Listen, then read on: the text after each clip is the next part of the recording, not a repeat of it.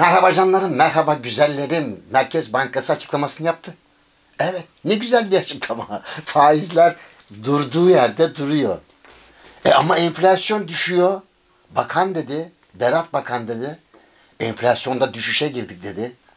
Enflasyonda en kötüsünün de geride kaldığını söyledi. E olsun, Merkez Bankası yine faizleri düşürmedi. Oğlum sıkar biraz abi kolay mı? Merkez Bankası bugün faizleri düşürmeye kalksaydı adı bile yeter dolar 6 liraya geçerdi. Böyle ekonomi olur mu ya? Ya böyle ekonomi olur mu Allah aşkınıza ya? Ekonomideki hiçbir verilerle ilgili değil. Döviz fiyatları, kur, kurlar. Hiç. Neyle ilgili? İşte böyle. Dedikodularla, haberlerle, konuşmalarla, faizlerle. Böyle bir ekonomi nereye kadar düzelebilir ya? İmkan var mı düzelmesine? Bir yandan Maliye Bakanı, Hazine Bakanı enflasyonda düşüşün sürdüğünü, ekonominin hareketleneceğini söylüyor. Diğer yandan Merkez Bankası enflasyon düş hız yani enflasyon artışının bir, bir bakıma istikrar kazandığını ve e, artış hızının kesildiğini anlatıyor. Bunun olumlu bir gelişme olduğunu söylüyor. Dengelenme var diyor ve enflasyon artışının hız kesmesini sıkı para politikasına bağlıyor. Merkez Bankası'nın enflasyondaki hız kesişini sıkı para politikasına bağlamasını, bunu daha da sıkabiliriz ha diye parmak sallamasını takip eden saatlerde Hazine ve Maliye Bakanlığı'ndan bir açıklama geliyor. Bankalar, bankalar 25 milyar lira 6 ay ödemesiz 48 ay vadeli kredi verecekler. Her bir kredi asgari 5 milyon lira, azami 50 milyon lira. Yani 5 milyon lira ile 50 milyon lira arasında kredi verecekler 48 ay vadeli. Demek ki en çok en çok en çok 1500-2000 kişiye kredi verecekler. Hadi biraz daha arttırın 2500 kişiye kredi verecekler. Ortalama 20 milyon liradan mı? Yok yapmaz 20 milyon lira. 10 milyon lira. 10'ar milyon lira kredi verdin bitti para 2500 kişiye. Ya gerçekten halkla dalga geçiliyor biliyor musunuz? Ekonomiyi yönetenler halkla dalga geçiyor. Neredeyse 8 ile 10 milyon arası kişi, yurttaş tüketici kredisini ya da kredi kartı borçlarını ödeyememişler. Bugün bir olaya tanık oldum. Bir esnaf. Esnaf emekli. Emekli olmuş ama esnaflık yapıyor aynı zamanda. Ya o adamın bayramda bin lira para verdi ya devlet. Bin lirasına haciz koymuşlar ya. bin lirasına haciz koymuşlar ya. Hacizi koyan kim? Devlet. Neden? Vergi borcundan dolayı. Yani devlet adama diyor ki al senin bin liraya bayram harçlığı vereyim diyor. Aynı devlet öbür taraftan diyor ki ver o bin lirayı bana senin bana vergi borcun var diyor. Adamcağız ağlıyordu. Canlarım benim ya bu ne ya peki? Bir yanda 2500 kişiye 2500 kişiye sadece 2500 kişiye Kobici'ye ama 2500 kişi ama onlar da yanında 15-20 kişi çalıştırıyor. E peki Peki onlar da yanlarında her biri 60 kişi çalışsın canım. Peki öyle yapalım ya. Peki 150 bin kişiye. Öyle ya. Peki. Peki o da kabul. Yeter ki işçileri, çalışanları fabrikalarında tutsunlar atölyelerinde. 150 bin kişi yapar. Peki hani sıkı para politikası? Ha sıkı para politikası nerede biliyor musunuz? Gariban halkın üzerinde gariban halkın harcayabileceği parayı kesecekler. Ölme eşeğim ölme diyecekler. Bak yaz geliyor sana yeşil çimen biçeceğim diyecekler. Öbür taraftan çimen yetiştiren 3-5 kişiye ya işte 2500 kişiye diyelim. Alın siz bununla çimen yetiştirin de çok özür dilerim affedersiniz bakınız. Yani teşbih yapıyorum. Şu, şu kadar eşeği besleyelim mi yani bu mu yani? Hayır ben söyleyeyim mi? Ben söyleyeyim mi? 25 milyar lira krediyi kimseye vermeyecekler. Ha verecekler de şöyle olacak. 25 milyar lira. Kobilere verilecek. Bunlar da hemen hemen yüzde 85-90'ı belki daha fazlası AKP'li kobiciler. AKP'li. Anadolu'da, Anadolu'da bir zamanlar Anadolu aslanı diye ben bunlara isim takmıştım. Anadolu kaplanları demiştim. Sonra benden sonra Mehmet Barlas çok daha ünlü olduğu için Mehmet Barlas kullanacağı ismi Mehmet Barlas takmış olmuştu.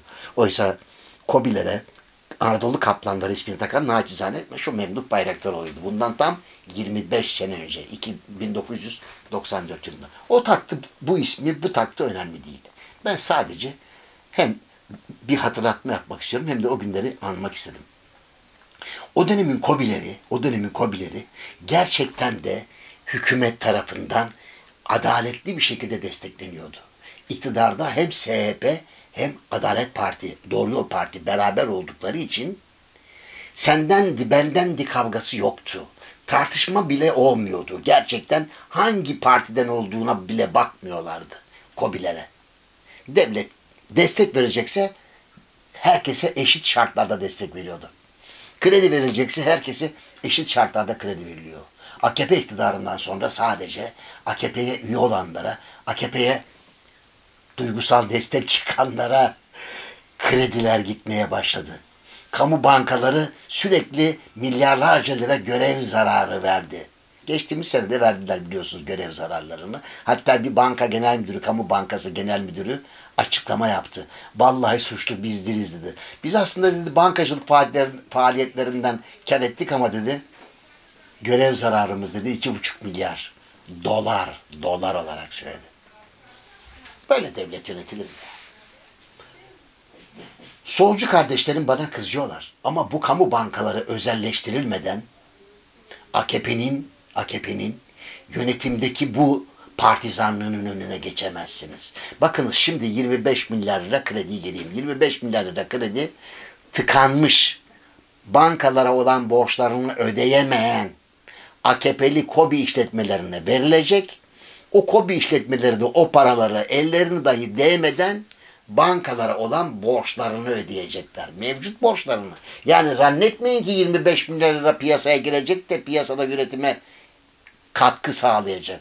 Ya da istihdam yaratacak. Siz benim gözümün içine bakar mısınız tramvay geçiyor mu? Yalan. Bir kuruşu girmez piyasaya o paraların.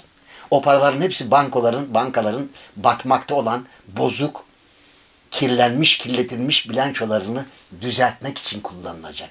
100 milyardan fazla tıkanmış banka alacağı var. 25 milyarıyla o tıkanan paraların bir kısmı ödenecek. Eh bankaların şimdilik şimdilik batmaları ve mecbur kaldıkları sermaye artırımının önüne geçmeleri sağlanacak. O kadar. Başka hiçbir şey yok. O 25 lira 20, 25 milyar liranın bir kuruşu üretime dönmez canlarım benim. Ben artık bu AKP'nin AKP'nin cemazi ebelliğini biliyorum. Yapmazlar bunlar. Bunlar her şeyi sadece seçim için yaparlar. Her şeyi sadece seçim için. Bakın seçime 10 gün kala 11 gün 10 gün 11 gün 10 gün kala diyelim ona biz yine. Ayın 12'si ama pazarı saymayalım. Seçime 10 gün kala Cem Uzan Paris'ten bir açıklama yaptı. Bir defa önce şunu kabul edelim. Cem Uzan deyip geçmeyin. Türkiye'de halen genç partili olarak kalmış yüz binlerce gerçekten genç ruhlu insan var. İnanmışlar genç partiye. Halen acaba bir gün tekrar bizim patron genel başkan geri döner de bizim başımıza geçer mi diye bekliyorlar. Umutlu olmak güzel bir şey. Hiç ben onlara mana bulmam. Asla. İşte AKP yönetimi bunun farkında. Cem Uzan'a alttan alta umut verici bazı haberler gönderiyorlar birileriyle. Cem Uzan bugün öyle bir açıklama yaptı ki. Bakın ne diyor. Erdoğan'a yazıyor mektubu. Sizlerden istirhamım hakkaniyet ile bu mağdur, mağduriyetin giderilmesidir. Bu haksızlığın giderilmesini ve mağdur edilen her bireyin haklarına kavuşmasını Yüce Allah'tan niyaz ederim. Mağduriyet dediği Berke Barajı. Berke Barajı Uzan ailesinin Türkiye Cumhuriyeti Devleti'ne hediye ettiği harika bir enerji tesisidir. Bir, önce hakkını verelim. Çünkü ben bu tesisi yıllarca savundum.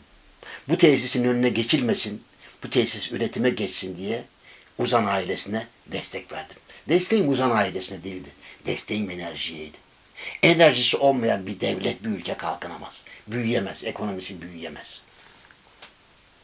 Fakat Genç Parti'nin 2002 seçimlerinde %7,5 oy alması, hazine yardımı kazanması ve 2003 yılının Şubat ayı ile beraber Cem Uzan'ın bütün Türkiye'yi karış karış gezmeye başlaması ve birden o anda yapılan kamuoyu araştırmalarıyla önümüzdeki pazar seçim olsa oyunuzu hangi partiye verirsiniz sorusunun cevabında genç partiye diyenlerin oranı %20'leri geçince Uzan ailesinin bütün malına, mülküne, servetine el koydular. 2004 senesinde de bir kanun çıkardılar. O kanuna göre banka, bankalar kredi kullandırdıkları şirketlerden her 1 lira için banka yöneticileri sorumlu tutuldular. Banka yöneticileri. Uzan ailesine de 5 milyar dolara yakın borç çıkardılar o dönemde. Anlatmıştım bu olayı. Daha uzun anlatmayayım. Ve Cem Uzan üzerinden, Cem Uzan korkusundan bir aileyi Türkiye Cumhuriyeti Devleti'nde büyümüş büyümüş gerçekten olağanüstü büyümüş ve yüz binin üzerine ya da yüz binin yakın kişiye iş sağlayan, aş veren Uzan ailesini yerle bir ettiler. Acımasızca yer ettiler. O zamanlar tercümanda yazıyordum. Tercümanda yazıyordum. Evet yani benden başka herkes AKP'liydi. Herkes AKP'ye destek veriyordu gazetede. Ben ona rağmen o gazetede, o gazetede Uzan grubunun mallarına el konduğunda oturdum bir yazı yazdım. Bu ayıptır dedim. Devlet, devlet verdiği sözü tutmak zorundadır. Eğer devlet bir işletmeyle, bir yurttaşıyla ya da bir şirketiyle, Türk ya da yabancı bir şirketle bir sözleşme imzalamış ise o sözleşmeye sadık kalmalı. Neydi o sözleşme? Canlarım Uzan ya da diğer şirketler yani enerji şirketleri önceleri daha önceleri baraj inşa etmişler ya da elektrik tesis santralleri inşa etmişler. Aynı zamanda da dağıtım şirketleri kurmuşlardı. Bir karar çıktı, bir kanun çıkarıldı. Ya elektrik üreteceksiniz ya üretilmiş elektriği satacaksınız. Hem elektrik üreteyim hem elektrik satayım yok. Yani sözüm ona tekelciliği kıracaklardı. Uzan ailesi bundan vazgeçmedi. O dönemdeki EPDK kurulu başkanı halen aslanlar gibi görüyorum. Yaşıyor Allah uzun ömür versin. Yusuf Günay. Kendisine gazetem adına bir söyleşiye gittiğimde bana sizi dedi köşenizde okuyorum zaman zaman da Cem Uzan'la görüyorum.